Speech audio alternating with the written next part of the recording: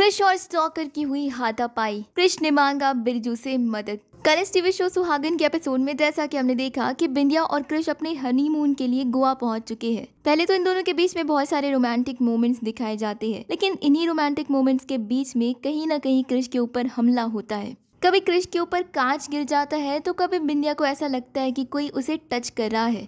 जब बिंदिया का डर हद से ज़्यादा बढ़ जाता है और क्रिश को ये नज़र आता है कि कोई तो बिंदिया के आसपास है। तो क्रिश बिंदिया की बातों को सीरियसली लेता है और स्टॉकर का पीछा करता है। क्रिश और स्टॉकर के बीच में हाथापाई भी होती है। लेकिन इससे पहले कि क्रिश स्टॉकर का चेहरा देख पाए, वो स्टॉकर क्रिश के ऊपर रेड चिली पाउडर डालकर भाग जाता है। वह क्रिश बिंदिया के पास वापस आ रहा होता है कि तभी बिंदिया और क्रिश को बिरजू मिल जाता है।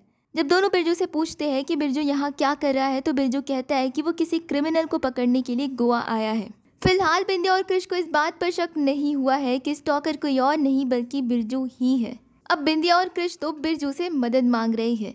आपको क्या कुछ कहना है इस पूरी अपडेट को लेकर? आप अपना ओपिनियन हमें कमेंट के ज़रिए ज़रूर बताइए। और साथ ही टेलीविज़न से जुड़ी सभी लेटेस्ट अपडेट के लिए सब्सक्राइब करें हमारे चैनल को।